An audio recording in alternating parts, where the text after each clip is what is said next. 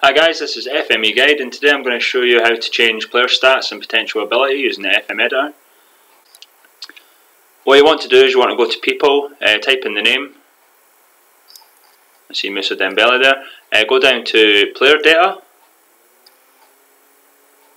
And you'll see all the different stats there, you'll see um, physical, mental, all the sort of things that you would get uh, normally on FM and we're just going to change a couple of these just to show you it works.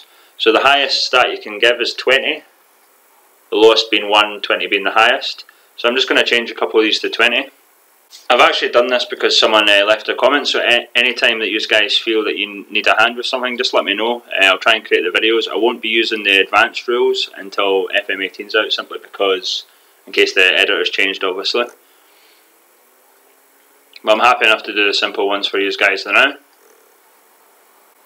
Uh, one thing you can also do is change the potential. Um, if you're changing the stats, you'll obviously uh, be a, a, sort of better player, so you're always better changing the potential of the player, so they're still growing and they're not sort of stagnated.